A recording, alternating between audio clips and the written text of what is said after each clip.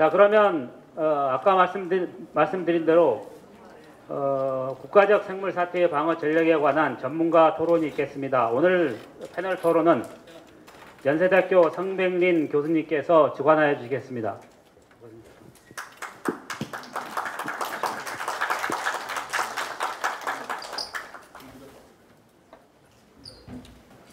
오늘 국가 생물 사태의 전방위적 어, 방어 전략에 관한 이 패널 토론을 위해서 이 앞에 와 계신 아홉 분의 전문가님들 어, 환영합니다. 아, 일일이 제가 아, 소개를 드리는 것보다 일단 아, 우리 이상민 아, 박사님부터 시작을 해서 간단히 아, 이 소개를 해주시고 인사를 드린 다음에 그리고 패널 토론을 시작하도록 하겠습니다. 예, 박사님 좀 부탁드립니다. 안녕하십니까. 저는 한국, 한국 국방연구원에서 온 이상민이라고 합니다. 현재 그 북한 군사 연구를 주로 하고 있으면서 아, 그 중에서 이제 북한의 WMD 를 하고 있는데 실은 제가 한 1년간 어, 국방부 요청으로 어, 북한의 이제 화학 생물 위협에 대한 어떤 우리 대비 방안에 대한 연구를 했었습니다. 그 관련돼서 이따가 패널 시간에 제가 발표를 좀 하도록 하겠습니다. 감사합니다. 예, 안녕하세요. 아, 저는 성문대학교 제약공학과 이찬기 교수입니다. 지금 현재 한국생물안전협회 3대, 4대 회장을 하고 있고요. 그다음에 그 생물고기 금지협약 한국 전문가로서 유엔 회의에 지금 8년, 9년째 참석을 하고 있고 아시아 태평양 생물안전협회 부회장을 지금 하고 있습니다. 뭐 기타 여러 가지 다음에 말씀드리겠습니다. 네, 안녕하십니까. 저는 건양대 간호대학 정선영입니다. 간호협회 회장님 추천으로 저, 어, 대한감염관리간호사회 전 회장을 역임했었습니다. 오늘 제가 이 자리에 어, 초청된 배경은 아마 지금 의료기관에서 메르스 사태 때문에 많이 지금 그 의료기관 감염관리 시스템을 가동하고 있습니다. 그 시스템 가동하는 데 있어서의 어떤 그 전략과 그리고 이 국가 사- 국가 그 전략적인 방어와 어떻게 연결을 지었으면 좋겠는지 말씀을 드리겠습니다. 예, 어, 저는 군 대표로 나온 어, 육군 의무실장 안종성 어, 팀장입니다. 어, 옛날로 치면 이제 육군 의무감 자리고요. 어, 이런 뭐 생물 방어에 대해서 이제 전문가분들, 군 대표분들이 많은데 여기 뭐 화학병과 분들도 많이 오셨고 아, 미군 분들 오셨고 다른 군의관 분들 여러 분 오셨는데 제가 아마 군 대표 입장에서 어, 이런 뭐 바이오 디펜스에 대한 그런 뭐 어, 얘기를 할 수 있는 그런 기회가 된 것 같습니다. 예, 만나뵙게 돼서 반갑습니다.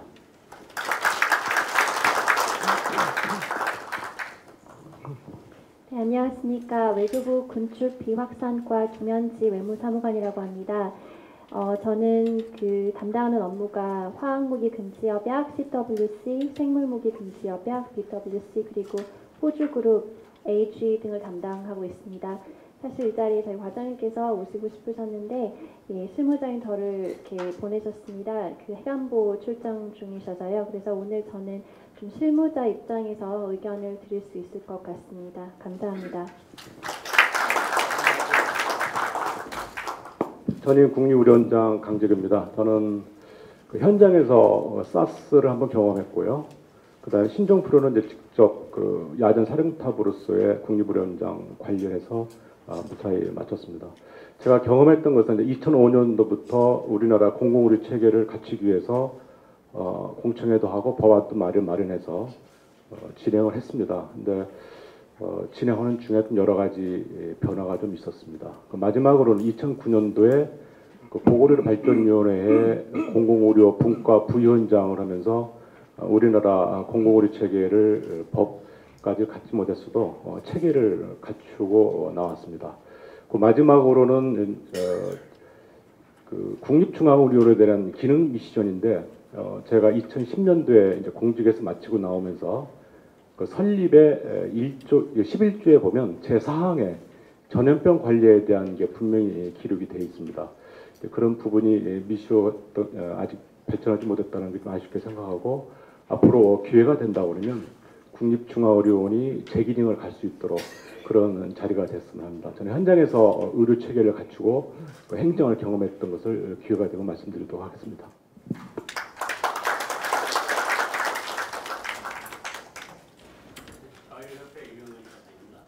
아, 현재는 그리고 녹십자 홀딩스의 대표이사 사장으로 있습니다. 아마 산업계 입장에서 이번 메르스 사태나 향후 생물 방어 연구에 대한 그런 의견을 드리도록 하겠습니다. 안녕하세요. 탁상호입니다. 그 현재는 미 국방부 화생방 합동사업국 소속인데 오늘은 그 미 질병통제센터에서 일했던 자격으로 나와 있습니다. 제가 느꼈던 부분들을 그 의견으로 제시할 수 있기를 희망합니다. 반갑습니다. 네, 안녕하세요. 연세대학교 보건대학원의 전동길입니다. 네, 저는 그 보건복지부에서 25년 동안 사무관부터 이제 어, 그 고위공무단 각급이라고 그러죠. 어, 차관복급으로 이제 근무를 재직을 했습니다. 그리고 2013년도 6월달에 어, 공직을 마쳤고요. 지금 현재는 연세대학교 보건대학원에서 교수로 재직 중에 있습니다. 어, 최근에 이제 메르스 사태와 관련돼서 어, 언론 기고라든지 방송 출연을 통해서 국민들에게 메르스 실태에 대한 정확한 내용을 알려드리기 위해서 나름대로 노력을 했었고요. 오늘 이 자리에 참석하신 우리 강재규 전 국립의료원장님이나 어, 제가 어, 전직 그이 보건복지부의 공무원으로서 어, 신종플루라든지 사스를 경험했던 그런 것들이 어, 어쩌면 오늘 이 자리에서 여러분들에게 어, 이 바이오 테러와 관련된 우리 정부의 대응 방안을 설명드리는 데 좋은 기회가 되리라고 생각을 합니다. 사실 이 자리에는 어, 현직 국립의료원장님과 현직 질병관리본부장님이 나오셔야 되는데 워낙 바쁘셔가지고 전직 그 국립의료원장, 전직 질병관리본부장이 아마도 대타로 나오지 않았나 이렇게 생각을 합니다. 열심히 하겠습니다. 감사합니다. 어, 대단히 감사합니다. 오늘 패널리스트로 참여해주신 아홉 분의 전문가인들의 간단한 소개를 들었습니다. 저는 메르스가 굉장히 그 위력이 있다라고 생각되는 이유 중에 하나가 이 같은 국내에 있는 최고 전문가들을 한꺼번에 모일 수 있게 했다라는 이런 부분에서도 메르스가 굉장한 위력을 발휘했다 생각을 합니다. 오늘 패널 토론이 아마 아, 50분까지 해서 앞으로 한 40분 정도 진행이 될 수가 있을 것 같은데 아, 진행은 일단 패널리스트 각 분들의 예, 의견과 정책에 방여, 어, 반영이 될 수 있는 부분들의 의견들을 일단 청취를 한 다음에 이 앉아 계신 어, 다른 전문가들의 질의 응답으로 이와 같은 순서로 진행했으면 합니다.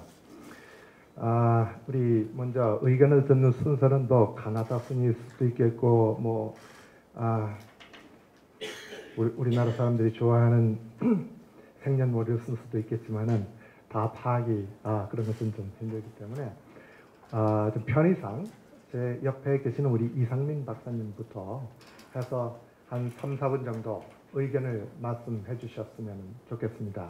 아, 그런 방법으로 진행하겠습니다. 예, 감사합니다. 사실 저는 제가 마지막 패널리스트가 될 거라 생각했었는데 어떻게 앉다 보니까 제가 이제 첫 번째 게시를 하게 되었습니다. 저는 사실 여기 계신 많은 분들하고 달리 아, 전공도 저는 재료공을 했고요.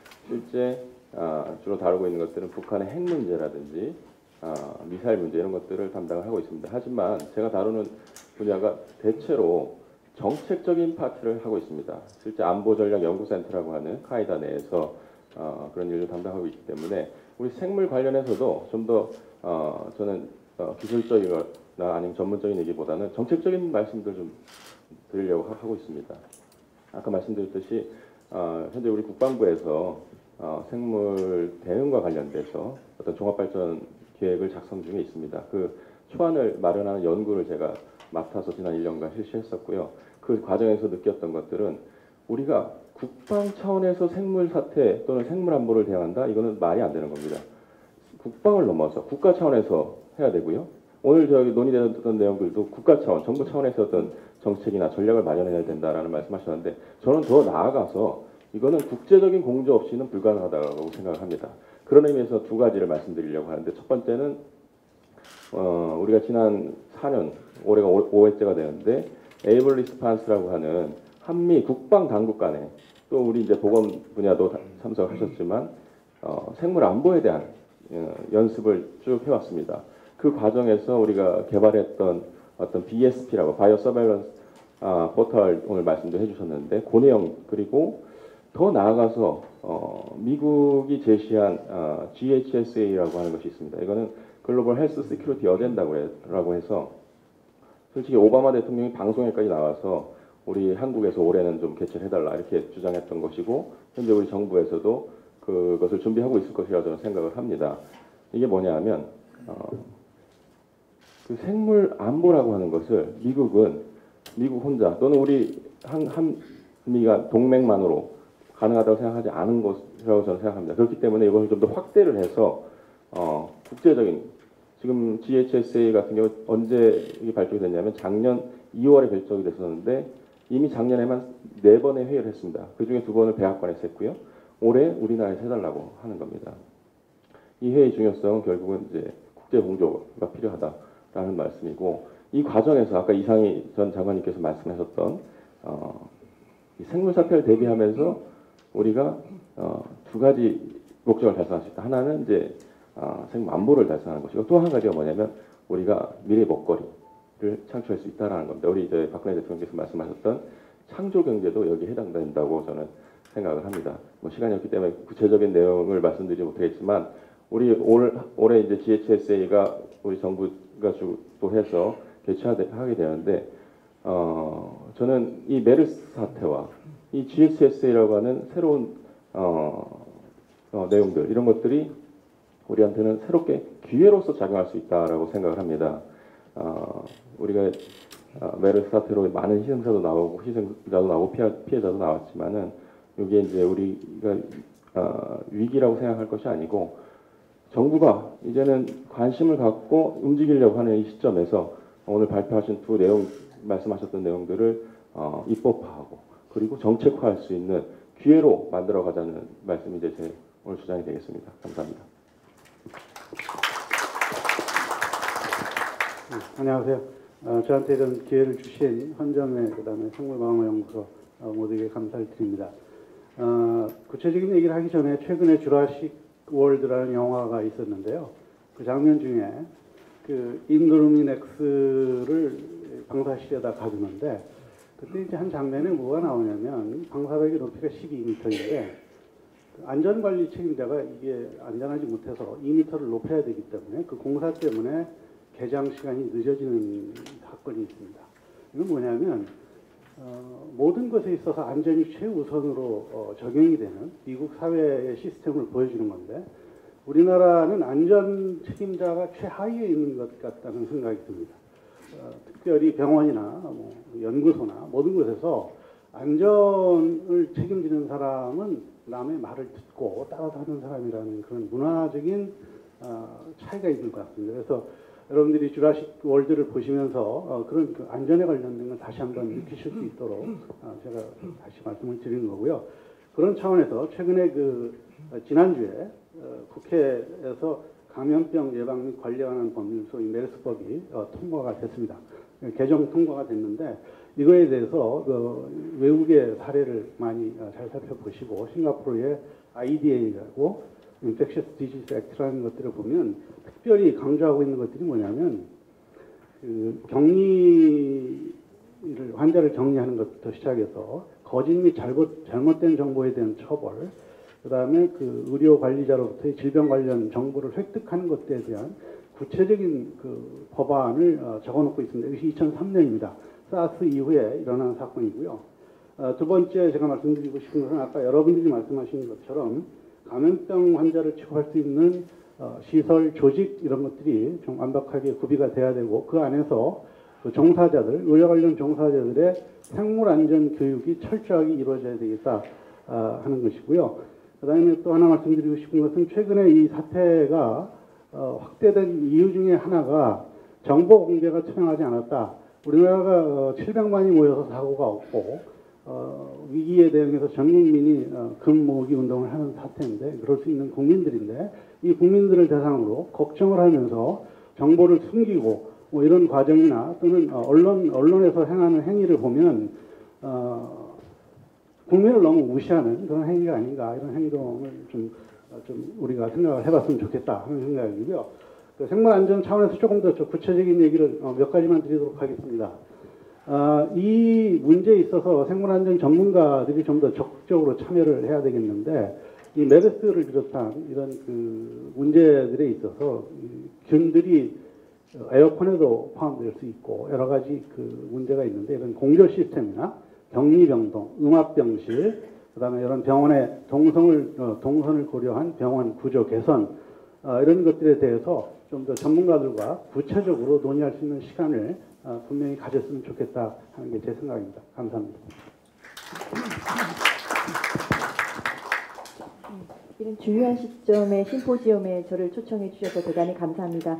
어, 본 심포지엄의 주제가 생물 사태에 대한 국가 전방위적 방어 전략에 대한 것입니다. 어, 이 전방위적 전략이라 하면 국가 차원도 있고 국방 차원, 외교 차원도 있겠지만 저는 이제 의료기관 차원에서 어떻게 이 전략을 또 마련하고 또 이 의료기관의 전략이 어떻게 국가 정부의 전략과 맞닥뜨려지는지에 대해서 어, 제 의견을 말씀드리고 싶습니다. 어, 지금 메르스 사태 같이 문제가 됐던 경우는 사실 환자들이 이제 어떤 증상이 있어서 자기가 메르스임을 알지 못하는 상황에서 모든 의료기관을 찾아갔다는 데 문제가 있습니다. 그리고 그 환자를 받는 의료진조차도 이 환자가 메르스인지 전혀 인지하지 못한 상태에서 그냥 열이 나고 우리가 보통 어, 소위 말하는 그, 열, 그 감기 증상으로 인해 인한 거기 때문에 별로 의심을 안 했습니다. 그러다 보니까 이제 이게 병원에 일파만파로 전파가 되고 그다음 병원 내 이제 비말뿐만 아니라 그 비말이 그 주변의 환경에 묻으면서 병원 환경 관리가 잘 안 되는 것과 접목되면서 이제 폭발적으로 문제가 됐습니다. 따라서 지금 현재 있는 그, 그 의료기관 차원에서의 방어 전략은 크게 저 제가 생각하기에는 두 가지입니다.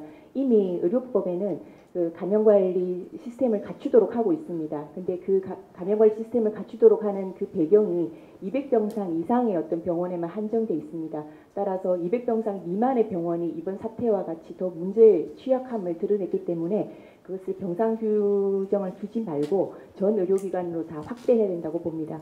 그리고 의료기관의 감염관리 시스템은 크게 이제 3종 세트라고 하는데요. 첫 번째는 그 병원장님을 위시하여 전 관련된 중요 부서들이 참여하는 위원회가 있습니다. 감염관리위원회와 그 감염관리위원회에서 심의한 병원 차원에서 심의한 정책을 실행하는 그 행정조직인 감염관리실이 있고요. 그리고 그걸 코디네이트 할 수 있는 감염관리 전담 인력 대부분 감염관리 간호사가 많이 맡고 있습니다.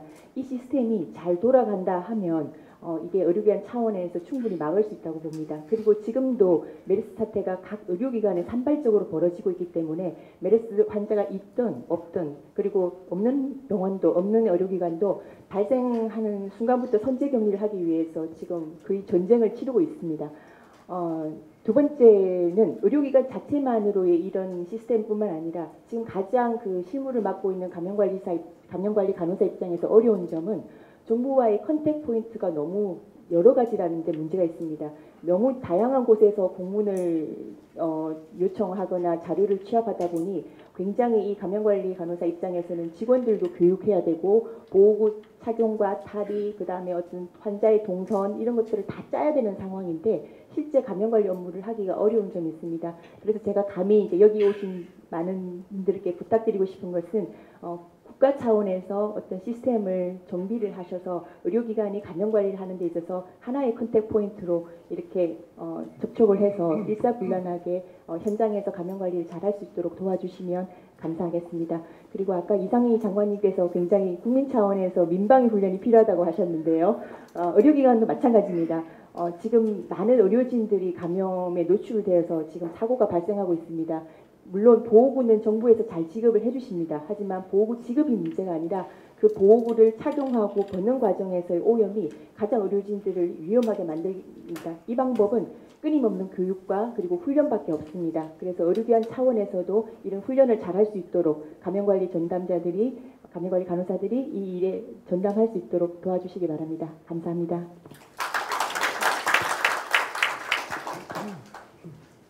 예.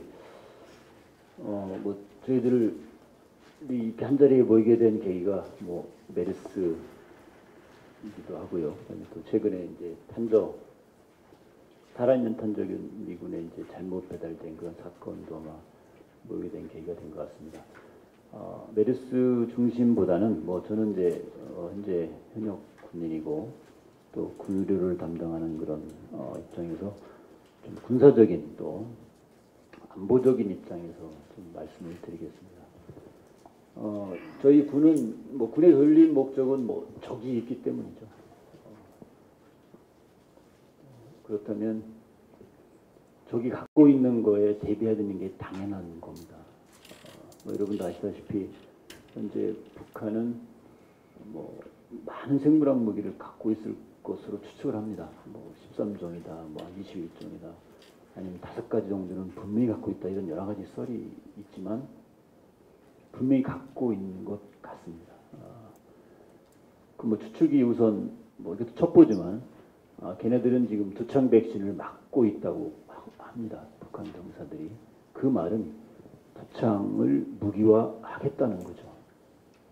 근데 우리나라 병사들은 안 맞고 있습니다. 못 맞고 있죠. 또 백신이 충분치 않아서 벌써부터 이제 비대칭이 생긴 겁니다. 아, 뭐 탄저나 이런 것들은 뭐 좀 더 말씀드리겠지만 아직 전혀 준비가 안 돼 있죠. 어, 저기 백신을 맞으면 우리가 바로 대비해야 되는 거 당연하죠. 여기 뭐 미군 저희 군의관도 오셨지만 미군은 탄저 백신과 두창 백신을 한반도에 배치될 때 맞습니다. 그것이 무엇을 의미할까요? 우리 군은 뭐 아직 잘 못하고 있는 게 현실입니다. 그래서 좀 또 대비가 필요한 부분이긴 합니다. 뭐 그 생물학 무기는 다 아시겠지만 빈자의 원자 폭탄이라고 하지 않습니까? 빈국의 원자 폭탄이죠. 그렇다면 북한이 채택할 확률이 가장 높은 무기죠. 1km 평방 1km를 파괴하는데 일반 재래식 무기는 1000불이 든다고 합니다. 뭐 2000불 든다고 합니다. 근데 생물학 무기는 1불이면 됩니다. 그러니까 경제적으로 100분의 1, 1000분의 1의 효과가 있는 이런 무기를 북한은 취하지 않을 이유가 없는 거죠. 탄저 오선기지 배달된 게 페덱스입니다. 일반 그냥 상용 택배 회사인데 예를 들어서 페덱스로 북한이 테러하겠다고 정말 탄저든 주창이든 뭐 보틀린든 그거를 예를 들어서 우리 한반도에 뭐 산발적으로 몇 군데 뿌렸다. 그 혼란은 뭐 상상할 수 없을 겁니다. 이 메르스 사태만으로도 이렇게 혼란스러운데 메르스는 어찌 보면 자연 발생적인 생물학 전는 아니지만 생물학 사태죠. 근데 맨메이드 즉 의도적인 의도를 갖고 하는 그런 생물학 테러라면 거의 뭐 이 혼란은 걷잡을 수 없을 겁니다. 그래서 저희들은 좀 더 위중하게 아, 보고 있는 거고요. 어, 근데 이제 뭐 그러면 정말 대비를 잘하고 있느냐? 아, 뭐 아주 잘하고 있다라고 여러분들 앞에 이렇게 확신을 드릴 수는 없지만 차근차근 이제 우리 군이 또 국방부가 하고 있다라고 말씀을 어, 드릴 수 있습니다. 어, 어, 저도 이제 그 Able Response라는 훈련을 뭐 13, 14년 또 직접 주도를 해서 많이 훈련을 했었고 2011년부터 Able Response 훈련이 이제 생겼습니다. 미국은 2001년도에 탄저균이 어, 테러가 있어서 다섯 명이나 죽는 죽고 많은 사람이 감염되는 사고가 있은 다음에 많이 이제 alert가 돼서 이렇게 되어오고 있지만 우리는 아직 그게 잘안 되고 있는데요. 그래서 이제 미국과 Able Response 훈련도 하고 미국이 주도적으로 지금 글로벌하게 Jupiter 프로그램이라는 어떤 bio defense 이런 프로그램을 구축하는데 거기에 이제 BSP라는 bio surveillance portal이죠. 거기에 이제 우리나라와 같이 지금 코워크를 하고 있습니다. 그래서 제가 의무사령부에 있을 때 그 counterpart로 어, 저기도 와 계신 이춘 대령님하고도 일을 같이 많이 했고 여기 탁 박사님도 계시지만 같이 일을 해오고 있습니다. 아직 완성 단계는 아닌데 거의 이제 완성 단계에 와 있고요. 어, 그래서 이제 그 BSP는 surveillance죠. 그러니까 이제 early detection을 하겠다라는 그런 프로그램을 지금 짜고 있고요. 어, 그런 것들을 구축해 나가고 있습니다. 뭐 아직 완벽하지는 않습니다. 아, 저희 이제 군이 갖고 있는 그 주 목표는 이제 두 가지 생물학적으로 이제 early detection, 그러니까 early identification이고 rapid response가 두 가지 목표입니다. 그래서 저희 자체적으로만 다 할 수 없기 때문에 미국과 공조해서 early detection 할수 있는 시스템을 갖춰 나가고 있고 rapid response 부분에 있어서는 뭐 아직 뭐 치료제나 이런 것들은 이제 아직 민에 많이 의존하고 저희들 자체 비축약 부분도 있긴 하지만 같이 구축해 나가고 있고 이제 예방 차원에서는 이제 백신 부분인데요. 어, 뭐 미국은 탄저 백신 이미, 이미 개발했지만 저희들은 이제 개발 어, 완성 단계에 와 있습니다. 어, 민간 회사에서 거의 완성된 게 와 있고 조만간에 아마 완성될 것 같고요. 두창 백신도 어, 이세 백신 같은 경우는 지금 뭐, 뭐 질본에는 많은 양을 비축하고 있고 저희 군도 이제 예산을 반영해서 지금 비축을 시작을 했습니다. 어, 그래서 점점 나아질 걸로 예상을 어, 하고 있습니다. 어, 어, 향후 이렇게 이제 어떤 두 가지 어, early detection과 rapid response라는 그런 어떤 전략적 목표를 달성하기 위해서 저희 국방부가 좀 더 더 준비를 하겠습니다. 근데 이번에 이제 메르스 사태를 보면 알지만 어, 또이 바이오 이 무기는 민과 군을 구분을 하지 못합니다. 대개 재래식 무기는 군만 타겟으로 쏘는데 이 그는 뭐 얘가 민간이고 군인이 구분을 못하기 때문에 어, 민의 도움이 굉장히, 굉장히 필요한 이 분야입니다. 다른 일반적인 재래전과 다르게 그래서 민과 군, 관이 공조가 돼야 되는- 거죠. 우리 국- 국방만 가서는 안 됩니다. 국가적으로 대응을 해야 되는 시스템이기 때문에 뭐 여러 좋은 분들이 법제화 내지는 뭐 제도화, 뭐 시스템화를 많이 얘기를 해주시겠지만 이런 것들이 필수적으로 필요합니다. 향후는 핵전보다는 이런 생물학전이 반드시 더 위험한 시기가 올 겁니다. 그래서 어, 같이 이런 좋은 자리에 모여서 그런 어, 좋은 안들과 어, 제도, 법제화가 이루어졌으면 좋겠습니다. 군도 나름 더 준비를 해 나가도록 하겠습니다. 예, 감사합니다.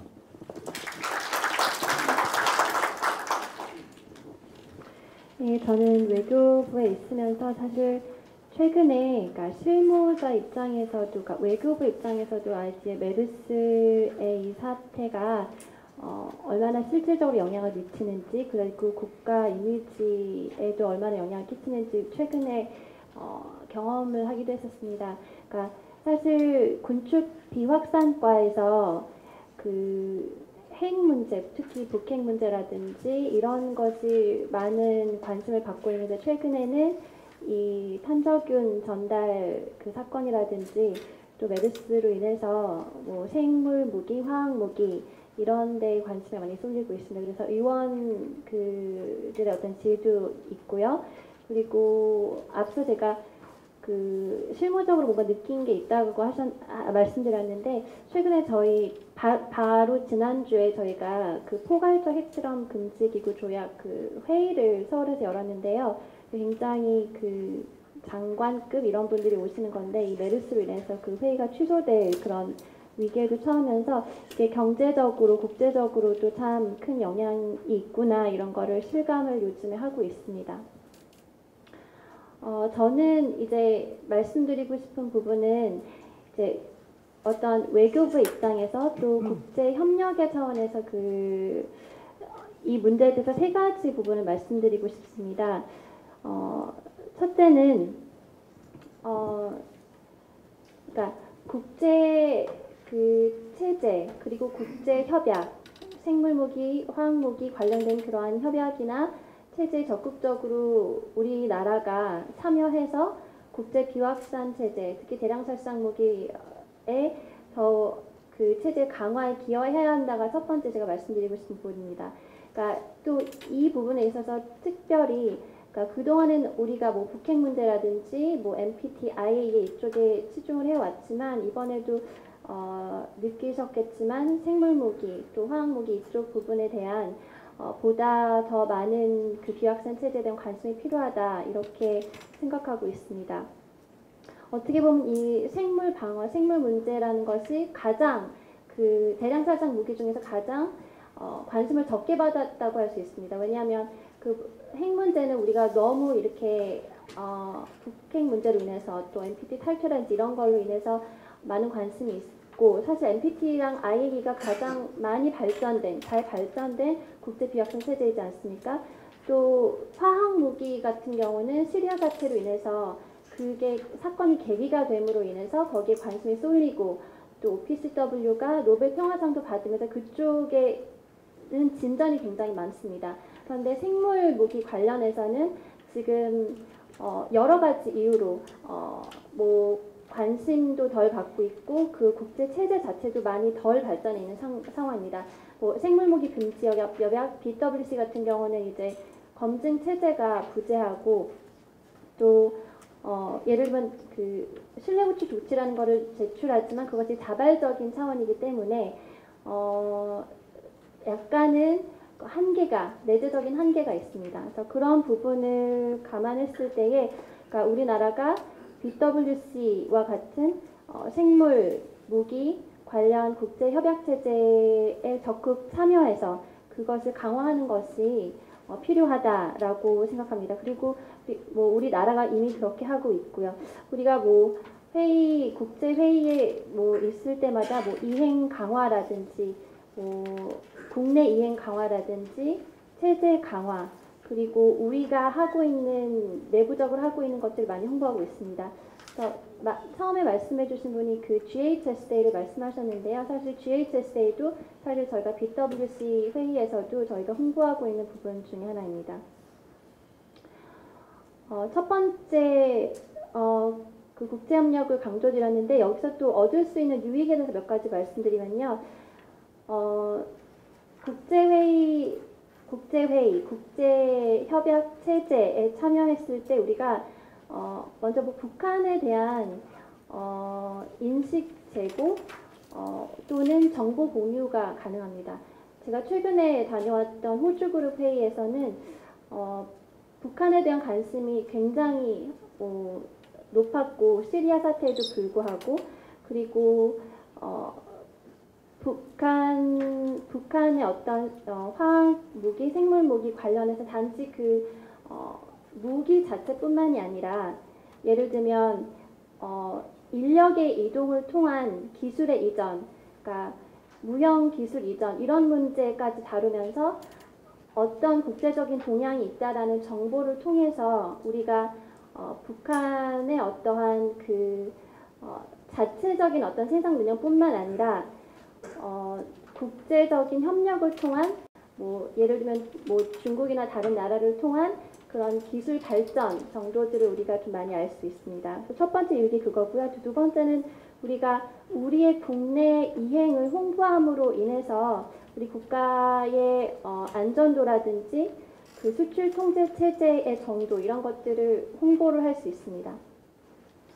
그래서 우리나라가 해야 될 일 첫 번째가 이제 말씀드린 대로 그러니까 국제 체제 적극 협, 참여를 통한 통한 국제 비확산 체제 강화, 특히 생물 무기 체제 강화라고 먼저 말씀드리고 두 번째 말씀드리고 싶은 것은 어, 이, 이런 생물 무기뿐만 아니라 이런 대량 살상 무기가 이중 용도이지 않습니까? 그래서 그런 부분에 있어서 어, 단지 그 어떤 무기 금지 뿐만이 아니라 어, 그런 평화적 이용에 대한 인식도 같이 어, 제고가 되어서 어떤 우리 제, 제약 산업이라든지 그런 경제 발전에도 기여하고 어, 그런 것을 통해서 우리의 그 방어 능력 또한 같이 올라가야 된다고 생각합니다. 이런 부분은 사실 그 외교부의 영역은 아니라서 좀 이렇게 간략하게 말씀드리겠습니다. 어, 마지막으로 세 번째로는 이제 어, 저는 통합적 접근을 강조하고 싶습니다. 그 생물 안보랑 공중 보건이 계속 그 통합되어 가고 있는 그런 상황 상황인데 사실 어떻게 보면 오늘 회의 같은 경우도 이런 통합적 접근의 어떤 한 일환이고 그런 노력을 반영한다고 생각합니다. 그리고 오늘 뭐 발표해주신 위기관리위원회라는 것도 어떻게 보면 통합적 접근인 것 같습니다. 왜, 뭐 이런 문제를 다룰 때 외교부뿐만 아니라 저희가 회의를 갈 때도 어, 산업부라든지 그 뭐 국정원, 관세청, 법무부 이런 모든 분들께서 함께 하시거든요. 그래서 그러한 그 어, 안보와 공중 보건의 그 결합되는 그 통합적 접근을 우리 국가 차원에서 해야 된다라고 생각합니다. 감사합니다. 예, 저는 이제 의료 어, 보건의료 쪽의 부분에 대해서 말씀을 드리도록 하겠습니다. 어, 개보험이 1989년도에 되면서 어, 많은 병원이 발, 어, 설립이 됐습니다. 특히 대형 병원이 많이 설립이 되면서 공공병원의 기능이 많이 약화되고 어, 급격하게 감소하기 시작했습니다. 그래서 최근에는 총 병상 수가 한 13%가 되고 있습니다. 특히 예, 여기 병원장, 군병원장님 오셨지만 아마 이- 군에서 이런 사태가 벌어졌다 그러면 군병원에서 도저히 감당할 수 없는 그런 상황이 왔을 겁니다. 그 저는 우선 보건의료 체계의 공공기능 강화를 해야 되는데 백화점식 공공기능 강화가 아니고 각 기능에서의 기능 강화를 해야 된다고 생각합니다. 군에서는 바이오, 또 국립중앙의료원에서는 감염병, 또 응급의료 그런 체계적인 것을 강화를 시켜서 이게 서로 연계를 시켜야 된다고 생각합니다. 국가기관이기 때문에 충분히 통합 조절 관리가 있습니다. 공공기관으로서의 기능 강화를 시켜서 각 병원에 어떤 음, 질환을 집중화시킬 건지 그런 기능이 필요하다고 생각이 됩니다. 앞으로 이 부분은 어, 국방의학대학원이라든지 공공의학대학원이 설립이 된다 그러면 좀 더 더 체계적인 그런 유기적인 관계가 되지 않을까 생각이 됩니다. 두 번째는 어, 저는 이제 현장에서 느꼈던 점이고 이번에도 느꼈던 점이지만 극단적인 비유를 아마 메르스는 사막에서의 전투였고 또 이번에 우리 국내에서의 전염병이 확산된 것은 아마 도시형 전투였지 않나 생각이 됩니다. 그러면 그 매뉴얼 기범을 어, 사막형 전투만 보고 리뷰해서 적용시킬 때는 좀 무리가 있지 않나 생각이 됩니다. 그래서 이번에 시스템을 강화시키고 어, 체계화시킬 때에는 이런 부분을 좀 더 응용해서 우리나라 실정에 맞는 그런 체계를 했으면 합니다. 특히 우리나라 보건의료 체계는 세계에서 유일하게 접근도가 좋은 제도입니다. 그러나 어, 여러 가지 문제가 많습니다. 어, 저는 그 임상 경험을 미국에서 어, 연수를 했고 어, 북부에서도 연수했고 어, 그런 경험을 갖고 있습니다. 특히 연수 기간 동안은 각 병원에 대한 그 특징을 보기 위해서 많이 참관을 했는데 너무 많은 의료 환경입니다. 그 의료 환경이 다른 부분을 같은 기준으로 해서 우리나라에 적용시킴으로써 이런 문제가 발생하지 않았나 생각됩니다. 그래서 이번 차제에 국가의 바이오뿐만이 아니고 우리나라의 그 바, 바이러스에 대한 전염을 감소시키기 위해서는 의료 어, 체계를 한번 다시 점검해야 되지 않겠나 이렇게 생각합니다. 네, 마지막으로는 어, 상당히 어려운 문제입니다. 어, 저도 어, 공무원 생활을 4대 어, 그, 그 기간을 대통령을 겪어봤는데 이 보건복지부에 너무 이게 힘이 없고 예산도 없고 자원도 안 줍니다. 어, 지칩니다. 어, 지치다 보니까 어, 저도 마지막에는 아 이게 이제 끝이구나 하고 나왔는데 이번 기회에 그 자원과 예산을 잘 좀 확보할 수 있는 그런 법안이 마련됐으면 합니다. 감사합니다.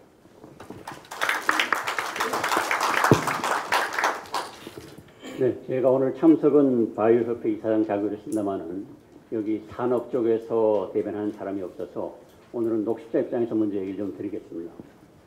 녹십자는 그 두 번의 백신으로 사실은 회사가 퀀텀 점프를 했습니다. 처음 개발한 것이 1983년 4년에 B형 간염 백신입니다. 그 당시에 세계적으로 두 개의 B형 간염 백신이 있었는데 그것이 워낙 비싸서 우리나라에서는 대량 접종이 거의 불가능했습니다. 그래서 녹십자에서 B형 간염 백신을 개발하면서 그 가격을 10분의 1로 떨어뜨리고 전 국민이 접종을 시작한 겁니다. 그 당시에 우리나라의 B형 간염 복용률이 15%, 100명 중에 15명이 B형 간염을 복용하고 있었는데 현재는 1% 내지 2%입니다. 그러니까 지금은 태어나자마자 B형 간염 백신을 맞으니까 이제 뭐 거의 없죠. 아직은 중국은 아직도 10%가 넘습니다. 두 번째 백신이 2009년 10년에 신종플루 백신입니다.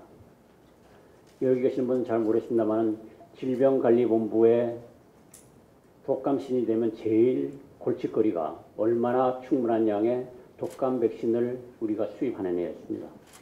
2008년까지 우리나라는 독감 백신을 생산하는 시설이 없었기 때문에 전량 수입하는 겁니다. 독감 백신을 생산하는 회사들이 생산량이 충분하면은 우리나라까지 양이 오지만은 그 양이 부족하면은 우리나라에는 충분한 양이 안 옵니다. 그래서 질병관리본부장이 그 회사를 찾아다니면서 조금 더 달라고 구걸하는 그런 형태의 일들이 벌어지고 있습니다. 다행히 정부에서 우리나라에도 독감 백신을 생산하는 공장이 있어야 된다 그랬고 거기에 이제 녹십자가 파트너 선정이 돼서 파손의 공장을 지었습니다. 그 공장이 완공된 게 2009년 2월입니다. 신종플루가 온 게 2009년 4월에 첫 환자가 발생했습니다. 어찌 보면은 대한민국과 녹십자가 정말 억세게 운이 좋았던 그런 케이스가 아닌가 싶습니다. 근데 공장을 처음 짓고 경험이 없으니까 사실은 저희는 한 2, 300만 도주를 생산할 계획을 했는데 정부에서는 2,500만 도주의 양을 요구합니다. 그 당시에 일어난 일은 정말 매주 질병관리본부, 식약처, 녹십자 해서 매주 회의합니다. 어떻게 이거를 백신을 공급을 해야 되고 임상을 어떻게 해야 되고 공급을 어떻게 하고 그래서 그때부터는 매주 회의를 하는 것이 정말 성공적으로 2,500만 도즈를 생산을 해서 정부에 납품을 하고 그 중에 한 1,700만 도즈를 저희가 접종을 했습니다. 세계적으로 이렇게 그때 신종플루를 잘 대처한 나라가 없습니다. 2010년 2월 달에 WHO 제네바에서 각 나라별로 신종플루를 대처한 케이스 발표를 했는데 뭐 대한민국이 압도적으로 생산의 공급 문제든 접종이든 아주 뭐 top 모델로 선정이 됐습니다. 빌 게이츠 Foundation에서 case study를 할 정도로 잘 된 케이스입니다. 그런데도 불구하고 질병관리본부에서는 어떤 얘기를 하냐면은 2,500만 dose를 구입을 했는데 1,800만, 1,800만 도즈만 사용해서 남은 게 있습니다. 이건 나중에 감사원에서 감사받으면 문제가 됩니다. 도로 좀 가져가시라는 얘기를 합니다. 제가 그때 질병관리학이 있습니다. 이 당, 질병관리본부든 정부에서는 정말 이거는 세계적으로 잘한 케이스고 이런 거를 질병관리본부가 힘을 얻는 데 써야 되는데 그걸 감사원을 두려워하고 하다 보면 전문성이 없고 결국은 오늘 같은 오늘날 질병관리본부가 이렇게 힘이 없는 그런 사태가 발생한 거 아닌가 싶습니다. 그래서 정말 그런 것들이 조금 더 진행이 됐으면 좋겠고요. 현재 메르스 사태를 보면은 사실은 2, 3년 전부터 중동에 처음 메르스 사태 나왔을 때 중동 국가들에서 문의가 옵니다. 메르스 백신을 만들 수 있냐고 옵니다. 메르스 백신은 다른 백신보다 훨씬 만들기 간단합니다. antigen이 확실하기 때문에. 그렇지만은 기업체 입장에서 보면은 그거 뭐 몇천 명, 몇만 도주 생산하는 거로는 도저히 상업성이 안 나옵니다. 그게 그것이 전 세계적으로 백신을 하는 모든 회사가 백신을 안 만든 거고 녹십자 마찬가지 이유입니다. 그렇지만 우리가 중동과의 연관성을 보면은 사실 그때 정부나 기업체 조금 더 그런 걸 선견 지명을 가지고 준비를 했더라면 하는 생각을 하고 있고요. 여기 지금 여기 바이오니아 박하노 대표가 있습니다만은 진단 키트를 미리 만들어 두어서 이번에 사실은 진단하는데 굉장히 도움이 됐습니다. 그렇죠? 네. 네, 네. 어, 그래서 지금은 이제 아까 이상희 장관님 그리고 김익환 교수 얘기했듯이 우리가 충분한 법안 제정도 필요하고요. 또 국가적인 그런 그 안전위원회도 필요합니다. 그렇지만 그거에 앞서서 그런 질병관리본부나 식약처의 어떤 전문성 그리고 제 몫을 내는 그런 시스템이 돌아가야 된다고 봅니다. 마지막으로 제가 바이오 협회 이사장으로 말씀드리면은 한국의 향후 먹거리 정말 이제는 여태까지는 삼성전자, 현대자동차가 먹게 살렸습니다만은 향후에 바이오 헬스 쪽이 대한민국이 나가야 될 방향으로 봅니다. 그런데 현재 우리나라의 바이오 헬스는 굉장히 수준이 떨어집니다. 그거를 어떻게 하면 조금 더 빠르게 나갈 수 있는지 그거를 여러분들하고 같이 해서 바이오 테러 대비 바이오 협회 산업 쪽에서 그런 얘기가 좀 진전이 되면 좋겠다고 생각합니다. 감사합니다.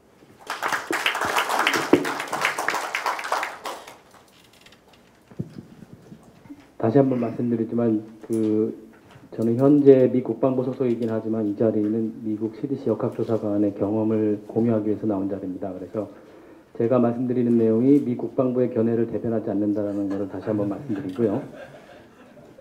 제가 말씀드리고 싶은 건 이제 우리가 지금 얘기하는 위기관리위원회가 생긴다면 어떤 일을 할 것이냐, 무엇을 할 것이냐라는 고민을 이제 시작해야 될 텐데 그러면 누가 무슨 일을 할 것이냐 이런 얘기들이 돼야 되거든요.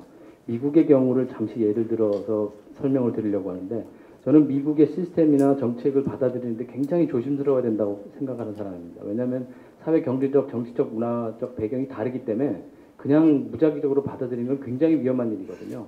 저는 그걸 너무 많이 봐왔고 그래서 되게 조심스럽게 말씀을 드리는 건데 미국의 경우 이런 국가안보에 대해서 다섯 가지 프레임워크를 제시합니다. 첫 번째가 예방, 그리고 어, 보호, 위기 감소, 대응, 회복 이 다섯 가지 단계를 이제 그 주제로 삼고 대통령령에 의해서 각 기관별로 각 부처별로 이거에 대응하는 활동 그 사항들 아니면 그 정책적인 그 부분들을 어, 제시해라라고 명령합니다. 그래서 각 뭐 보건복지부, 노동부 아니면 뭐 국토보안부에서 다 이런 이제 그 각 기관들이 가질 수 있는 할 수 있는 영, 부분들을 이제 제시하게 되는데 음, 국가 비상사태에 대해서 한 15개 정도 시나리오를 만들어 놓고 그 중에 하나가 이제 미국 보건복지부에서 담당하게 되는 판다믹 인플루엔자랑 바이오 테러리즘이 들어가 있습니다. 이 부분에 대해서 실제로 그 임무를 전담하는 기구는 CDC죠. 그래서 제가 CDC에 한 6년 있으면서 그, 그 역학 조사관으로서 제 일- 일은 이제 감시 체계 운영하고 평가를 주로 했지만 위- 공중보건 위기 대응이 생기면 거기에 대응팀으로 차출이 됩니다.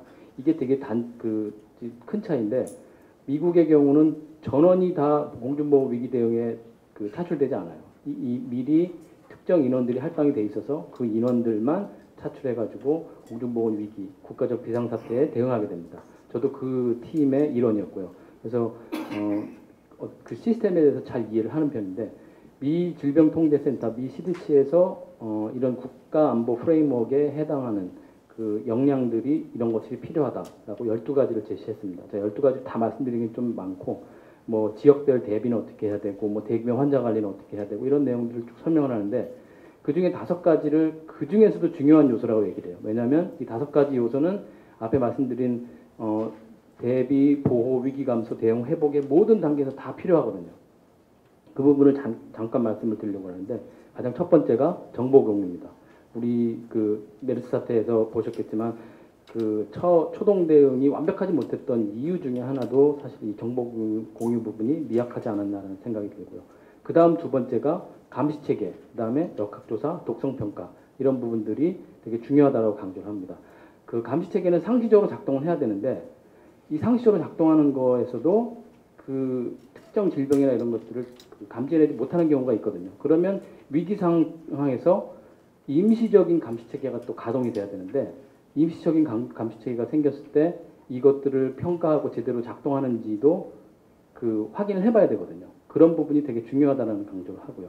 물론 이제 독성학적 평가는 뭐 생물학 사태하고는 조금 거리가 멀지만 뭐 그 방사능이라든가 화학물질 사고가 있을 때는 어, 독성학적으로 어, 평가를 하게 되고요. 이거는 대비뿐만 아니라 나중에 사후 처리에서도 어, 독성학적으로 평가를 해야 된다 이렇게 강조를 하죠. 세 번째가 그 위기 사- 위기 대응 협조를 얘기합니다. Emergency Operation Coordination이라고 하는데 어, 질본에도 위기 상황실이 있죠. 근데 뭐 실질적인 기능을 아직 못 하고 있다고 보는데 그 위기 상황실이 그 미국의 위기, 위기 상황실이 대규모로 운영되는 이유가 바로 이겁니다. 위기 상황에는 그 대응하는 인력이나 모든 그, 그- 그 단계들이 협조가 돼야 되거든요. CDC나 뭐 한 개의 부서에서 감당해낼 수 있는 게 아니기 때문에 여러 부서들이 같이 공조할 수 있는 공간을 만들어주는 게 되게 중요하다라고 강조를 합니다. 그 다음 네 번째가 이제 의료인 및 대응 인력의 건강과 안전입니다. 상당히 중요하죠. 왜냐하면 의료인들 몇 명 되지도 않은데 파견돼 가지고 뭐 병에 걸리고 다치고 그러면 그 다음에 누가 그 대응을 하겠습니까? 미국 그 CDC 같은 경우는 어, 그 대응 인력을 차출을 했을 때 그 1일 12시간 이상 일을 못하게 합니다. 그 규정이 딱 돼 있어요. 그리고 2주 이상 일하지 못하게 딱 정해놓습니다. 그리고 그걸 감시 감독하는 인원이 위기 상황실에 항상 상, 상주를 하죠. 지금 그 한국의 질병관리본뿐만 아니라 동원된 모든 분들이 집에도 못 가고 일하신다고 얘기를 들었을 때 저는 상당히 염려가 돼요. 그러면 이분들이 쓰러지면 누가 할 거냐라는 거거든요. 그 부분에 대한 대비도 돼야 된다는 거거든요. 그 다음 마지막으로 말씀드리는 게 이제 그 위기 소통 및 경보입니다. 이거는 이제 어떤 전략적인 소통 이런 걸 얘기하는데 사실 누군가 방송에 나와가지고 방, 그, 그 대중한테 이제 설명을 하고 상황을 보고할 때 굉장히 중요합니다. 어떤 단어를 쓰느냐도 중요하고 어떤 내용을 전달하느냐도 중요하고 얼마나 빨리 얼마나 신속하게 하느냐도 중요한데 이 부분들이 항상 그 핵심 역량으로 갖춰져야 된다는 거거든요. 그 외에도 여러 가지가 있는데 사실 제가 생각하기엔 더 중요한 건 이런 핵심 역량들이 갖춰졌을 때 이게 정말 제대로 작동하는지 구현되고 있는지를 확인하기 위해서는 항상 훈련을 해야 됩니다. 뭐 매뉴얼 같은 거 만들어 봐도 훈련해서 실제로 습득, 습득되지 않으면 할 수 없거든요. 그러면 이런 훈련을 주관하는 부서도 있어야 되, 겠다 그래서 그런 부분들을 말씀드리고 싶고 결국은 이런 내용들이 역량들이 확보가 되고 구현이 되는지를 관리 감독할 수 있는 게 사실은 뭐 위기관리위원회 몫이 아닐까라고 생각을 합니다. 감사합니다.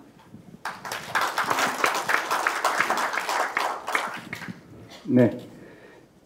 원래 시간이 11시 50분까지인데 제가 딱 11시 50분에 걸렸습니다. 오래 할까요? 짧게 할까요?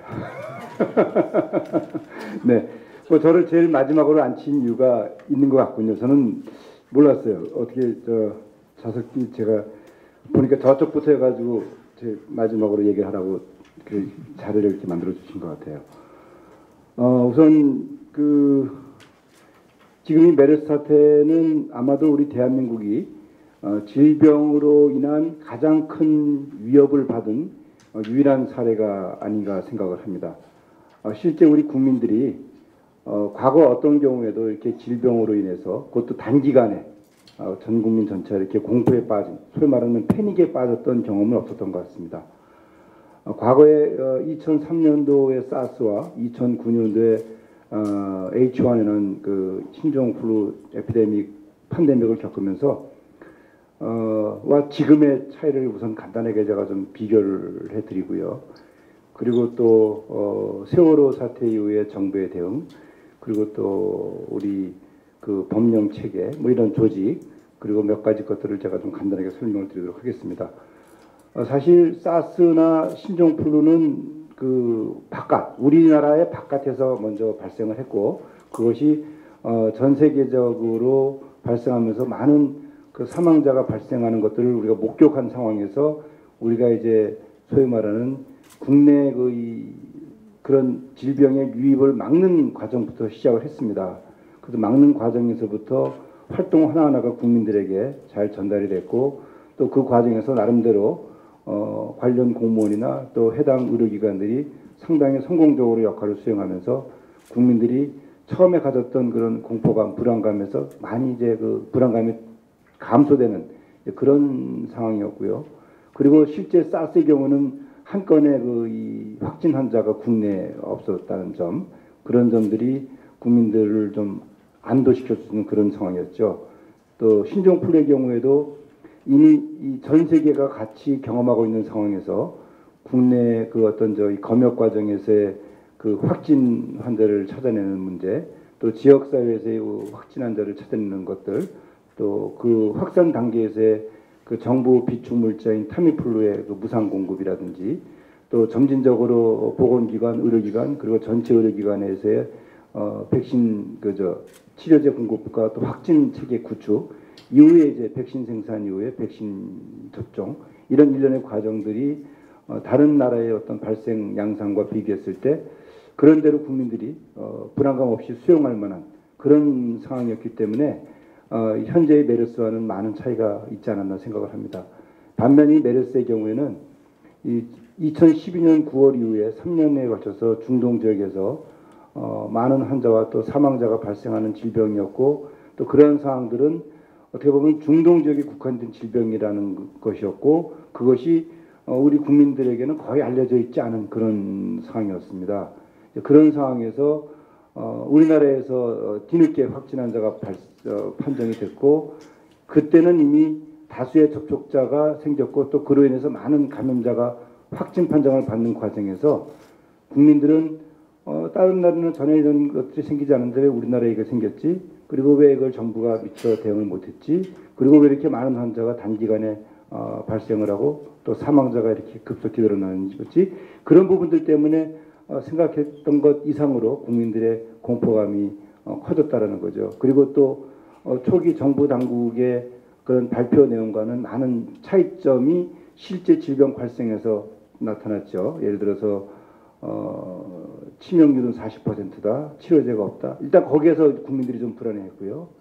그리고 단, 다, 대신 감염력은 낮다. 근데 이제 감염력이 낮지 않았어요. 병원을 중심으로 해서 엄청 빠르게 나타나니까 어이고 불안해지기 시작했죠. 또 그리고 공기 감염은 없다고 그러는데 저렇게 빨리 또 전혀 다른 병동에 있는 환자들이 또 감염이 되고 이러면서 어, 정부 발표에 대한 불신이 또 팽배해지고 그로 인해서 어, 상당한 그런 그 고강대 패닉이 그 엄습을 하지 않았나 생각을 합니다. 그러니까 이런 것이 이제 과거 사스와 신종플루 그리고 현재의 메르스의 차이점이라는 거죠. 어, 그런데 이제 어, 우리가 이제 일정 기간이 지나면서 이제 이제는 이제 학습을 충분히 했습니다. 학습을 충분히 했기 때문에 어, 지난주부터 이제 국민들이 좀 정상적인 생활 패턴으로 이제 좀 어, 전환이 돼가는 것 같고요. 특히 이번 주 들어서 아주 현격히 그런 안정 추세가 이제 그 국민들에게 나타나는 것 같아서 어, 상당히 좀 다행스럽게 생각을 합니다. 이제 그러나 이제 우리가 이 사태를 겪으면서 어, 우리가 뼈저리게 반성을 해야 됩니다. 특히 이제 세월호를 겪으면서 어, 정부 조직이 새롭게 탄생을 했어요. 어, 해경을 해체하고 또 우리 박근혜 정부가 어, 안전에 대한 어떤 저 우선 어, 생활을 하면서 이제 안전 행자부 그저 안행부라는 조직을 이제 만들면서 그것이 결국은 이제 어, 다시 행정자치부 또 국민안전처 또 인사혁신처 이렇게 나눠졌죠. 근데 이제 1년이 지난 현 시점에서 과연 그런 정부 조직의 변화가 우리 국민들의 실생활에 안전이라는 측면에서 어떤 그이 순작용을 했는지를 한번 돌이켜 본다면은 국민들은 어 이거 아닌 것 같은데 그 국민 안전처를 만들었는데 왜 이렇게 안전과 관련된 대응이 어 눈에 보이지도 않고 어, 또 실제 어, 저 국민안전처라는 조직은 어떤 의미의 안전을 위해서 만들어진 조직인가라는 그런 의문점을 갖게 됐고요. 또 실제 국회에서 그 안전처 장관이 답변하시는 모습은 정말 뜻밖의 발언을 하시는 걸 보고 대통령께서 생각했던 그런 국민의 안전과는 동떨어진 그런 생각을 갖는 분이 국민안전처 장관을 하신 게 아닌가라는 그런 놀라움을 제가 사실 느꼈습니다. 정말 느꼈어요. 자 그렇다면은 이 메르스를 겪고 나서 우리가 이 질병관리본부의 역할에 대해서 많은 분들이 이제 백과쟁명식으로 어, 계산을 제시를 합니다. 어, 미국의 질병 그 통제센터의 이야기도 하고요. 또 우리의 질병관리본부의 허약한 그런 체질, 어, 뭐뭐도 안 돼 있고 뭐안 되는 게 너무 많습니다. 어, 조직은 다 갖춰져 있죠. 그러나 그런 그 이 과정에서 과연 세월호 이후에 겪는 그런 정부 조직 그이 어떤 그 변화, 혁신 어, 그런 것들이 또 반복되지는 않을까 하는 이제 그런 두려움이 저는 사실 앞서는 게 어, 전직 질병관리본부장으로서의 마음이라고 할 수 있습니다. 우리가 과연 어떤 면에서 어떻게 어, 조직을 새롭게 꾸며놔야지 그것이 정말 굳건한 체질이 되고 그 어떤 경우에도 어, 두려워하지 않고 우리가 이 눈에 보이지 않는 이 세균 바이러스의 전쟁에서 승리할 수 있을까? 이제 그런 부분들을 염두에 둬야 되는데 어, 그런 부분들이 과연 어떻게 진행되는지 앞으로 우리가 눈여겨볼 사항이 아닌가 생각을 합니다. 특히 이제 국회라든지 또 정부 조직을 관장하는 또 그 행정자치부 또 인사혁신처 또 현재 안전과 관련된 역할을 하는 국민안전처 또 질병관리본부 보건복지부 어떤 형태의 그 정부 조직 혁신안을 만들 것인지 앞으로 우리가 눈여겨보고요. 또 그 과정에서 과연 그 관련 전문가들이나 또 관련 단체들이 어떤 목소리를 내야 되는지도 이 자리에서 우리가 한번 더 심각하게 어, 고민을 해야 될 것 같습니다. 어, 그리고 어, 이제 이, 이 일련의 상황을 보면서요. 어, 저는 다시 한번 느꼈는데 우리 국민들이 정말 대단하다. 정말 대단하다. 사실 어, 우리가 요즘 최근에 징비록이라는 그런 저 TV 드라마를 보면서 과거에 임진왜란 당시에 혼란, 그 외부의 침입, 외적의 침입 이런 것들을 보면서 어, 뭐 여러 가지 것들을 느끼게 합니다. 어, 지금 우리 공공의료가 거의 저 붕괴 상태에 있습니다. 어, 이 메르스를 겪으면서 어, 그 어떤 공공의료기관도 이 메르스와의 전쟁에서 제대로 역할을 하고 있지 못하는 현실의 작금의 현실입니다.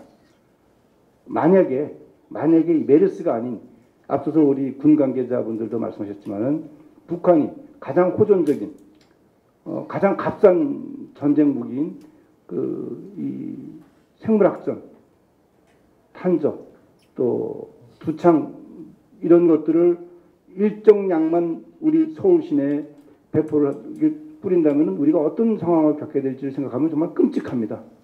아무런 준비가 안 돼 있는 것이 이 메르스를 겪으면서 우리가 느꼈습니다. 정작 질병관리본부에 근무하는 즉각 대응팀도 제 역할을 못했고요. 또 역학조사관들도 어, 30명 정도가 34명이 있지만 지방에 흩어져 있는 걸 다 또 모아가지고 그것도 이제 공중보건의를 모아가지고 역할을 하다 보니까 사실 쉽지 않았습니다. 또 우리가 그 병상을 활용을 해야 되는데요. 다다 민간 병원입니다. 쉽게 말하면은 우리가 저 관구는 눈에 보이지 않고요. 의병만 지금 눈에 보이고 있습니다. 과거에 임진왜란 때 승병과 뭐저 홍위 장군, 곽재우 장군이 뭐 의병을 이끌어서 왜구를 외적을 전쟁했듯이 지금 눈에 보이는 이 대응팀들, 역학조사팀들 전부 민간인 대학 교수들입니다. 정부가 과연 어떻게 그 조직을 관리해야지 국민들에게 안심을 줄 수가 있겠습니까? 저는 너무 놀랐어요. 이 사태를 보면서. 그렇다면은 정말 이 허약한 체제를 강화할 수 있는 그런 노력이 이루어지지 않으면요. 앞으로 제2의 메르스 그리고 또 가장 호전적인 그리고 우리는 근데 가장 호전적인 북한이 바로 우리 눈앞에 있다는 것을 잘 몰라요 국민들이. 핵무기도 갖고 있어요. 또 엄청난 생물학전 무기를 갖고 있습니다. 우리가 고작 이 메르스에 지금 우리 국민들이 한 달 동안 이렇게 난리를 치고 있는데요. 과연 거기에 대한 대응은 어떻게 하고 있는가 병력 또 그 의료 시설 한 번 터지면 그럼 기존에 있는 환자들은 누가 치료할 것인가 이런 걸 생각한다면은 어 우리의 공공의료에 관련된 특히 어떤 특정 목적의 그런 시설들에 대한 투자는 정말 제2의 이 국방이라고 하기에도 지나침이 없는 그런 상황입니다. 우리가 눈에 보이는 핵무기라든지 미사일에 대비한 국방만 중요한 게 아니고요. 지금 이와 같은 메르스, 우리 그 대한민국이 처음으로 겪는 생물학전입니다. 일종의. 처음으로 겪는 그 이 단기간에 불과 사망자 180여 명 확진 환 자, 사망자 33명 이 정도에 우리 대한민국이 휘청거리고요. 그리고 대외 신뢰도 떨어지고요. 경제가 마비가 되고 있습니다. 지금 대단히 안타깝게도 그러나 과연 이런 저 바이오 테러에 대한 우리 상황들 anthrax가 저 페덱스를 통해서 왔어요. 또 과거에 9.11 테러에 의해 국회의사당에 anthrax가 우편물로 왔습니다. 그런 것들을 만약에 온다면은 그 혼란을 과연 누가 막을 수 있을 것인가? 라고 생각한다면요. 미사일 하나 개발하는 것 정도에 투자를 한다면요. 훨씬 더 좋은 공공의료기관, 전문병원 만들 수가 있어요. 또 훌륭한 인력을 또 키울 수가 있습니다. 그런 인력이 키워지지 않으면요. 앞으로 이와 같은 메르스 사태는요. 얼마든지 재발될 수가 있고요. 전혀 나아지지가 않습니다. 그런 면을 제가 말씀드리고 싶고요. 그리고 이제 마지막으로 앞서서 우리 그 교수님들 또 우리 이상희 전 장관님이 말씀하셨던 그런 그 진화되는 과정에서 반드시 새로운 이 세균, 새로운 바이러스가 대한민국을 괴롭힐 거고요. 그 괴롭히는 그런 바이러스에 대한 대비가 철저하게 이루어지지 않는다면요. 지금 이 사태 또 반복이 됩니다. 근데 이, 이 바이러스와의 전쟁, 세균과의 전쟁을 위해서는요. 과감한 R&D 투자가 있어야 돼요. 그 R&D 투자는요. 단순히 바이러스에 대한 정보, 또 세균에 대한 정보뿐 아니라요. 대응 체계를 구축하기 위한 관리 체계를 만드는 그런 분야에까지도 철저하게 투자가 이루어져야지 그렇지 않으면 결국은 우왕좌왕 또 저 혼돈 그런 상황으로밖에는 나타날 수가 없다고 저는 생각을 합니다.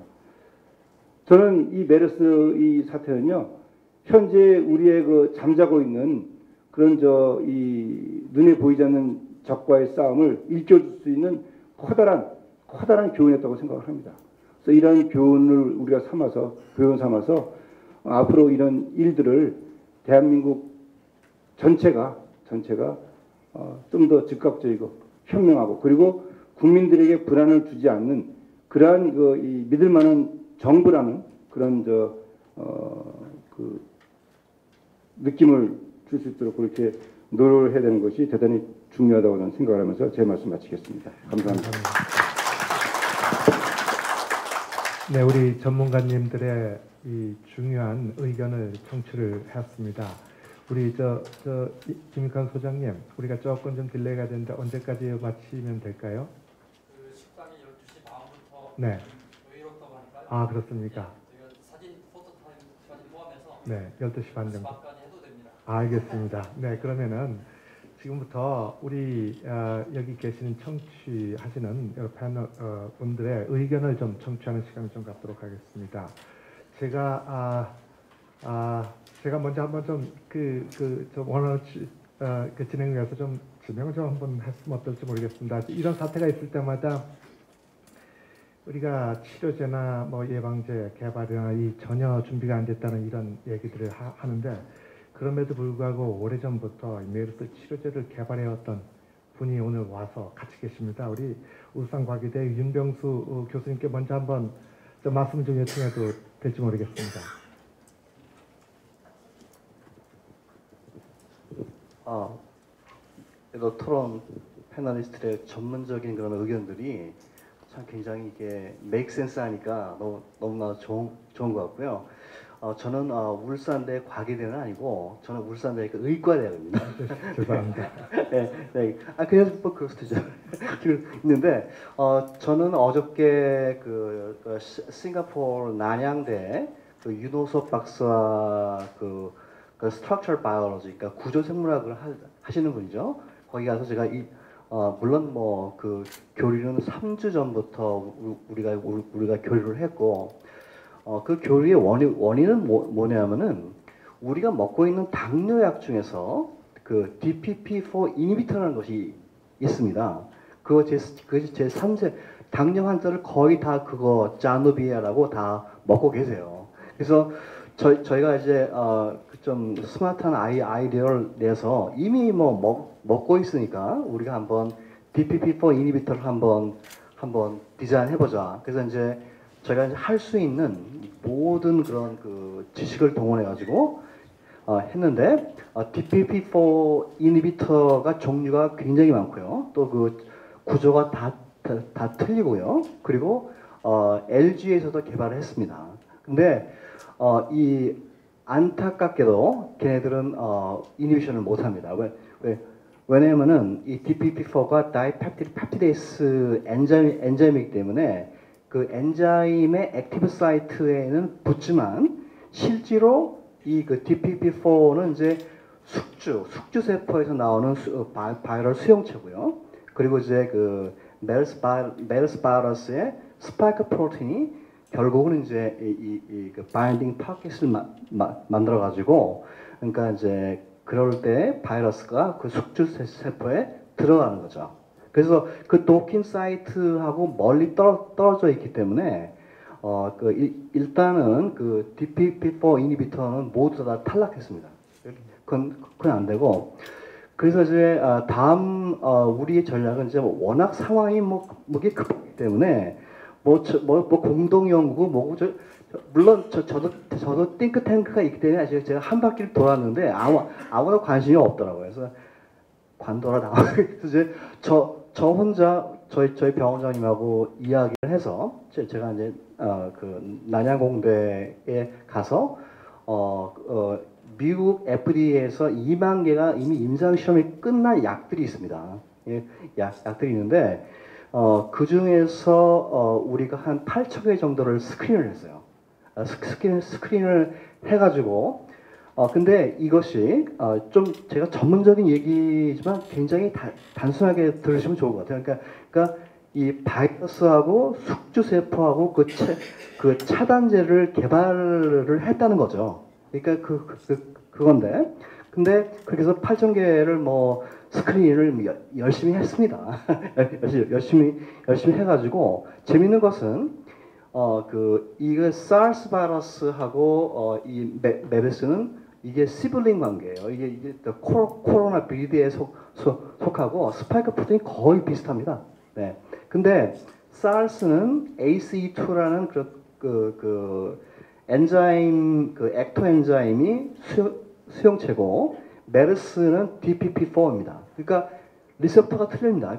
이- 굉장히 이것이 정말 저를 굉장히 감동시켰는데 어떻게 그렇게 비슷한 바이러스가 이렇게 교묘하게 교묘하게 수용체를 이렇게 이렇게 아주 그 소피스티케이트하게 이렇게 이용을 하기 때문에 어참 바이러스가 이러, 이렇게 진화할 수가 있구나 이게. 그- 그런데 또 놀랐고 또 하나는 이미 사르스에 대한 연구가 많이 많이 되어 있기 때문에 그런 백그라운드를 가지고서 우리가 구조적으로 들어가게 되면 그만큼 숏컷으로 갈 수가 갈 수가 있는 거죠. 그래서 제가 이제 결론을 결론을 말씀드리면은 어 그 왜 이런 small molecule들을 우리가 타미 타미플루 같이 이제 이렇게 이제 왜 개발 개발을 해야 되냐면은 지금의 지금 한 달 정도의 이 메르스 바이러스에 의한 그, 그 면역성을 보게 되면은 걔네들이 변종은 아니지만 변종은 아니지만 한국 사람은 독특한 반응을 보인다는 거예요. 그죠? 왜냐면 전염 속도가 굉장히 빠릅니다. 뭐 10분이면 뭐다 다 가니까. 그, 그 얘기는 한국 사람의 그 메르스 바이러스에 대한 susceptibility, 그러니까 그 감수성이 너무나 너무나도 강하다는 거. 그 그거는 뭐냐면은 우리가 갖고 있는 그 수용체 DPP4 4에 대한 우리가 제네틱 스타디가 거의 안 돼 있어요. 그래서 아마 제 생각에는 그, 그, 어, 원인은 아마 우리 숙주세포, 우리 코리안 진 풀에 있다고 저는 개인적으로 생각을 하고, 그, 그렇기 때문에 백신을 만들기는 굉장히 힘들다고 봐요. 예. 그, 그 대표적인 예가, 어, 그 완치된 환자의 그 혈장을 집어넣어도 완치가 안 됩니다. 그, 그러나 에볼라는 완치가 완전히 됩니다. 그 이유는 뭐냐면은 완치된 분이 어떻게 완치된지를 모르는 거죠. 그리고 그리고 그, 혈- 그 혈장에는 아, 메르스에 대한 중화 중화 항체가 없습니다. 그- 그렇기 때문에 어떻게 그것이 완치되는지 물론 최근에는 증상 없이 확진된 사람도 있죠. 그거야 가- 그, 그런 확률은 항- 항상 deviation이 있는 겁니다. 그래서 어, 제가 이제 그 그래서 이제 이렇게 이제 그 구조적으로 해서 이제 아, 맞춰가지고 스크린 다섯 개를 스크린했는데 그 윤 교수님 조금 짧게 해서 네. 좀 우리 전문가들도 좀 이해할 수 있도록 좀 쉽게 좀 네, 얘기해 네. 그러니까 주십시오. 결론이 중요하지 않겠어요? 그러니까 그 다 다섯 개는 어, 그 일반 OTC에서 팔, 파는 겁니다. 우- 우리가 많이 먹는 혈압약이 하나 있고요. 어, 그리, 그리고 어, 에스마 걸렸을 때 주로 먹는 약들. 예? 그리고 어, 어떤 거는 오피오이드 오피오이드 리셉터의 엔타고니스트인데 뭐 그 마약 같은 거 드실 필요 없고 여하튼 어, 지금은 일이 그렇게 진행됐고 앞으로 좀 좀 더 많이 진행될 것 같습니다. 네. 네, 가- 감사합니다. 우리 산업체 소신 박한호 사장님께서 손을 드셨는데 네, 약간 미스했습니다. 네, 감사합니다. 오늘 좋은 말씀 잘 들었습니다. 어, 오늘 주로 뭐 정책적인 말씀들을 많이 해주셨는데요. 어, 그 우리나라가 이제 이런 신종 전염병 점, 그 왔을 때 대응할 수 있는 시스템에 대해서 저는 이제 굉장히 좀 그 희망적인 말씀을 좀 드리고 싶습니다. 먼저 그 이병건 이사장님께서 그 우리나라의 그 정말 자랑스러운 그 녹십자 백신에 있어가지고 어, 저- 성공적으로 우리가 신종플루 때 대처한 케이스 말씀드렸는데요. 저는 진단 쪽에 대해서 좀 말씀드리면은 그래서 2000년도 그 사스 터졌을 때도 저희가 북경 CDC 방문해가지고 어, PCR 머신하고 PCR 시약들을 전부 기증을 했습니다. 그리고 어, 신종플루 터졌을 때도 저희가 로시보다 먼저 진단 키트 개발해가지고 국내 한 70% 환자가 저희 키트로 다가 다 했고요. 일반 보건소에서도 전부 다 그 완도 보건소까지 가가지고 시스템 다 세팅해가지고 거기에서 전부 확진 검사를 다 할 수가 있었습니다. 어, 이런 신종 전염병이 오게 되면은 뭐 크게 진단하고 그 다음에 아, 치료제 만들고 예방 백신을 만들어서 예방하는 건데요. 이제 그 새로운 질병이 오게 되면은 어, 백신하고 치, 아, 치료제가 없습니다.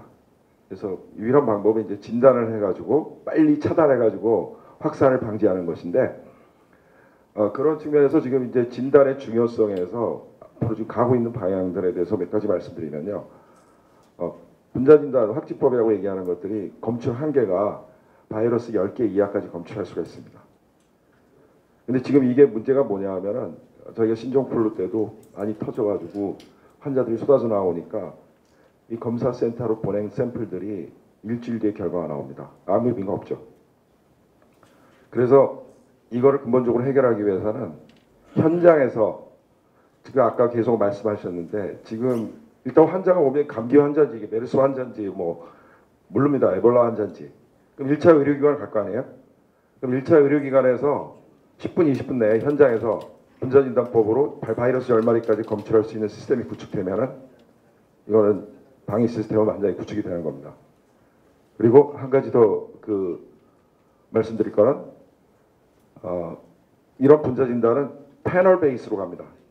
대표적으로 요새 이제 미군에서 지금 도입하고 있는 바이오 파이어의 그 FilmArray 같은 경우에 한 100개 정도의 그 타겟을 동시에 검출할 수 있습니다.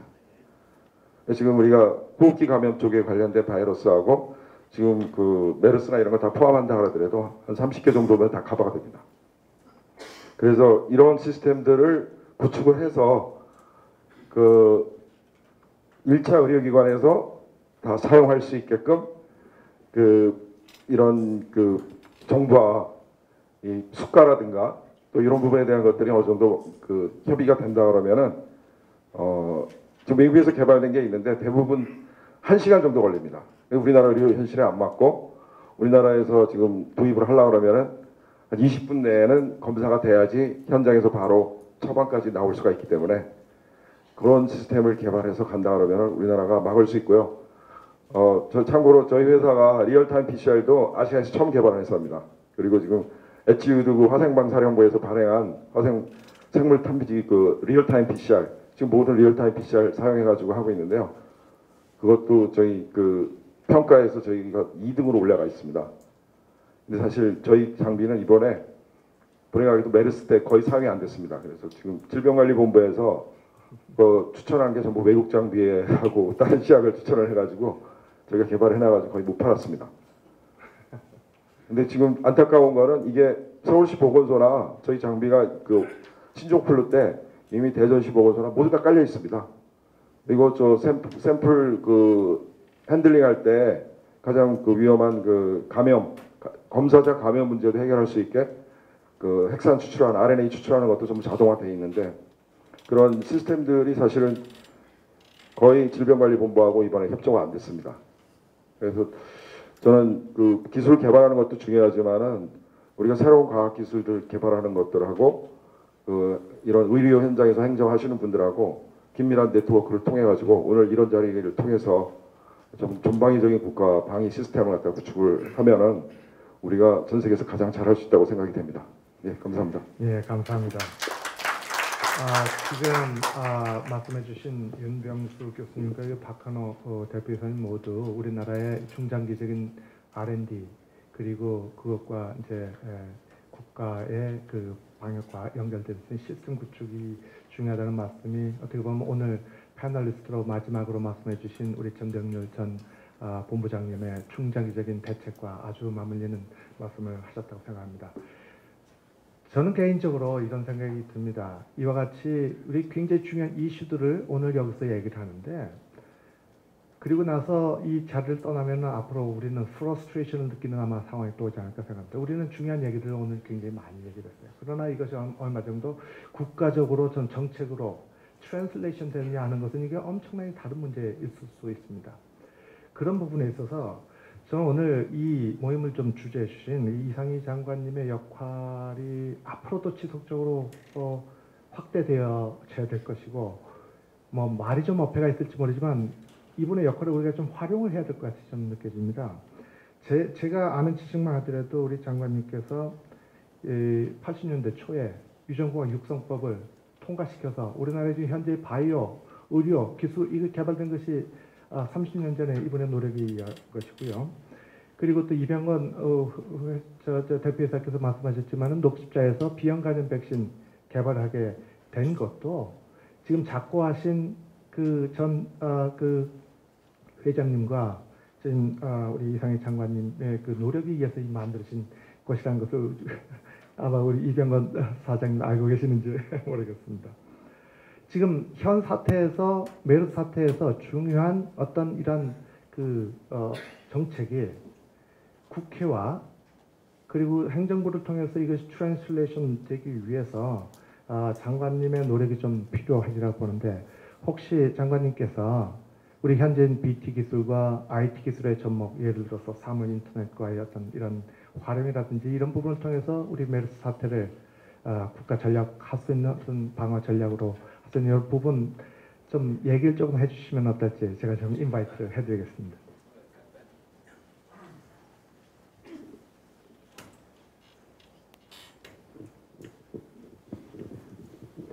우선 잘 아시지만은 예, 우리 기술 발전 보면은 메케닉에서 일렉트로닉에서 메카트로닉에서 최근에 바이오 테크놀로지 합치면서 바이오닉스로 가고 있습니다.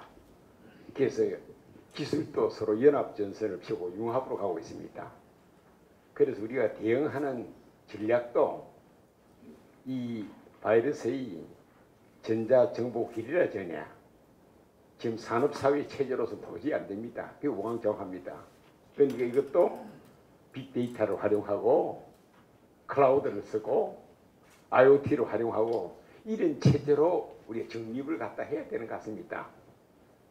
그래서 이거는 글로벌이 시공을 초월해서 가야 되는 문제고 이 연구 개발도 이제는 이 부분은 바로 지구촌에 그 우수한 분야들이 있습니다. 잘 아시지만은 로슈의 그 타미플루도 로슈가 개발한 게 아닙니다. 그 미국의 연구 벤처회사가 개발한 거를 마케팅해가 생산해가 했을 뿐입니다. 우리가 사실은 지구촌에 보면은 제가 터크 전문인데 터크 중에서도 대충 장남이 나오면은 장남을 상대로 투자를 하고 물건 사고 생산에 들어갑니다. 근데 차남이 더 똑똑합니다. 제가 차남입니다. 장남이 벌써 마케팅을 했기 때문에 차남이 기회를 안 줍니다. 그래서 이 차남이 가출을 해야겠다 하는 꽤 있습니다. 예? 그걸 우리가 잘 보면은 더 나은 가출할 그 터크를 갖다가 안아가 여기도 활용할 수 있는 것 같습니다. 그래서 앞으로 기술도 상당히 전략적 해야 되는 거지 우리가 막 연구만 해도 되는 게 아니라 그래서 저는 이렇게 하는데 제가 희망을 하는 게 꼭 하나가 있습니다. 우리 성 교수님을 위시해서 보면 훌륭한 분들이 많습니다. 또 우리 이병건 사장님 하더라도 여러 분야에 대해서 그렇게 합니다. 그런데 이런 지금 뭐 또 우리 지금 윤병수 교수님도 그렇고 이런 머리가 연구 개발을 안 하더라도 로치처럼 아 어느 걸 갖다가 픽업하면 되겠느냐는 식별을 할 줄 압니다. 안 그렇습니까? 예? 그 어느 머리가 좋으니까 이런 팀이 되면은 글로벌리 이 지구촌의 연구가 이루어지고 있는 걸 갖다 딱 픽업해서 그렇게 해서 마무리 단계 해가는 일도 우리가 할수 있을 거다 생각합니다. 그런 점에서 사실 아무쪼록 사실 이 특히 우리 김육환 소장님이 제가 그 제안을 했더니 뭐 적극 받아가지고 이 옮겨 주시고 또 대학이 일을 한다는 게 참 중요한 것 같습니다. 오늘 지식사회에 이제는 대학이 그 국가의 중앙연구소가 돼야 되는 것 같습니다. 어? 그런 점에서 이 고려 대학이 민족대학이 오늘 바로 이런 문제를 제기하는 자체도 의미가 참 큰 것 같습니다. 우리 그 김익환 소장님께 한 박수 한번 해주세요.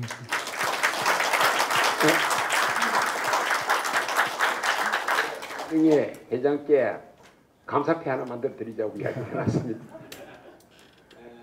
다시 한번 저 우리 성병희 교수님은 지난 일요일 날 우리가 백신 개발 때문에 3 시간 아침 조찬 일했습니다.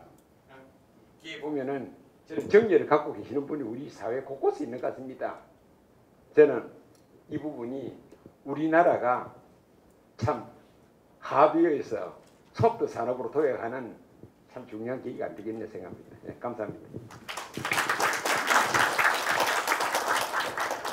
자, 우리 점심을 또 놓치면 또 곤란할 테니까 아, 아, 시간을 좀, 아, 좀 마무리하도록 하겠습니다. 제가 아, 그 위원장으로 그, 저 나름대로 한번 소회를 한번 말씀드리면서 어, 그러고 싶습니다. 이번에 메르스 사태를 보면서 에, 한국경제연구원이 예측한 국가의 폐해가 4조 원 내지 20조 원의 폐해가 있을 것이라고 예상을 했고요.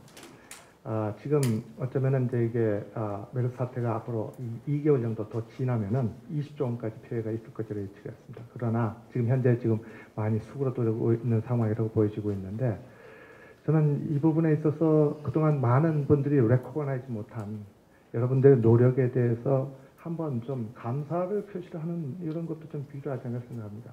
지금 현재 프론트라인에서는 보건복지부와 질병관리본부가 중심이 돼서 이렇게 해서 나가서 아, 많은 스포트라이트를 사실 아, 아, 받- 받으면서 일을 하고 계시지만은 현재 수천 명의 격리된 이와 같은 의심 환자들에 대해서 그 샘플 조사, 그 역학 조사에 대한 이, 이 부분들을 국립보건연구원에 있는 연구원들이 오랫동안 밤잠을 못 자고서 이 일을 했습니다.